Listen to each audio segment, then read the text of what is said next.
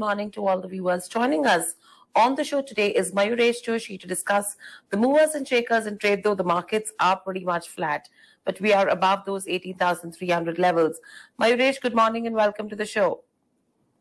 Morning, it is always a pleasure to be on your show. Thanks. Mayuresh, let's start with the Dr. Reddy's. The company reported numbers. What's your first take and what would you advise an investor to do? So obviously, I think the disappointment that has come through in terms of the US sales, is specifically Revlimid, contributing to the deacceleration that we've probably seen. Expectations largely are now getting built in in terms of the pipeline that Dr. Reddy's have for the better part of the next financial year. Uh, now, going by their con call uh, uh, last time around, they were expecting around 25 odd product launches to come through for FY24 uh, a majority of those uh, in high complex generics, which means the margins for these products are going to be relatively higher. At the same time, the backward integration for the molecules needed manufacturing these new, new niche segments or new niche products, uh, uh, 60 to 70 percent is probably going to get uh, integrated uh, locally as well. Uh, therefore, I think the kind of margin performance that one really expects from Dr. Reddy going forward should be sustainable between the 24-25% mark or even a little bit higher if these product approvals and uh, uh, come, come through on a timely basis. So yes, I think the kind of reaction that has come through in terms of uh, the US sales uh, uh, being a large part of it, uh, I think that should show signs of normalization that new approvals come through. And the market has probably taken uh, uh, the de-acceleration uh, to a large extent in terms of the price action as well. Uh, but to a large extent on the O'Neil lens, trades upon moving averages, anybody holding can hold on. Moving on, another uh, company that is focused from the pharma pack uh, is a Novartis India. They have reported a profit versus a loss. Uh, what do you make of the no, of Novartis? Yeah, so MNC pharma companies are uh, slowly and steadily coming back into favor here mm. to a hmm. large extent. The performance was, uh, uh, wouldn't say a turnaround, but yeah, it was obviously working on a low base on uh, last year's uh, annualized performance as well. And therefore, I think the kind of product mix that they've got. Uh, I was hearing the Novartis management uh, out as well. A lot of MNC pharma companies as well plan to introduce more products, more drugs into the Indian markets, a few of the blockbusters that they've got globally as well. And therefore, the kind of expectations that one has cash-rich balance sheets, uh, relatively stronger cash flows, and better numbers to exhibit. Probably an uptick uh, in terms mm. of numbers reactions on Novartis. but a large extent, that you need to be very, very selective when it comes to the pharma. Right. Another one coming in is a Sanofi, where the board has gone ahead and approved the demerger of its consumer healthcare business. What would this actually mean for investors? And the stock is up around 4.5% as well today.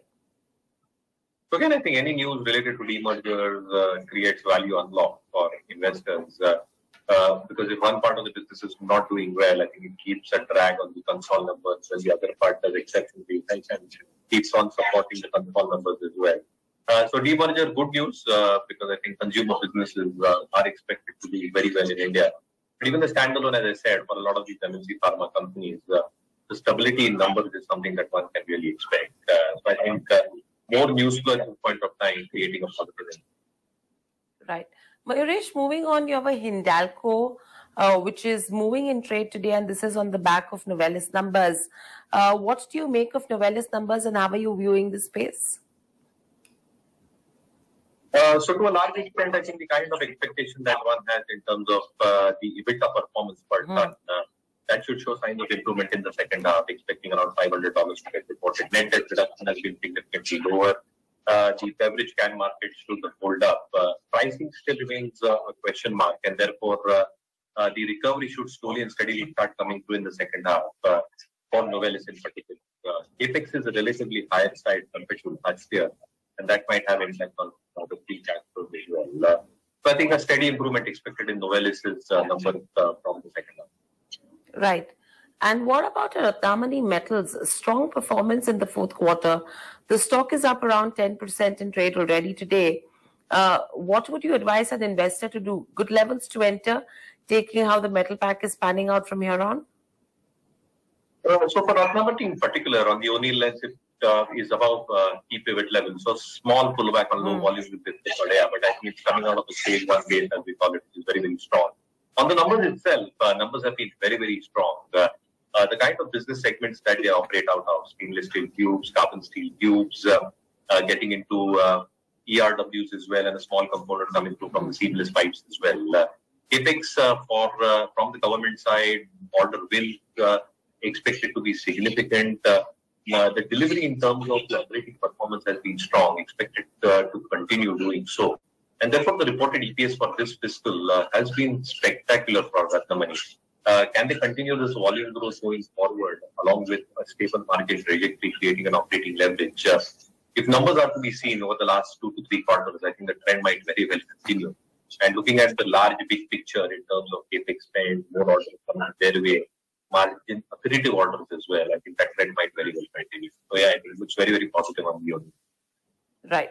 And very lastly, if you see the city gas distributors, good set of numbers that have been reported.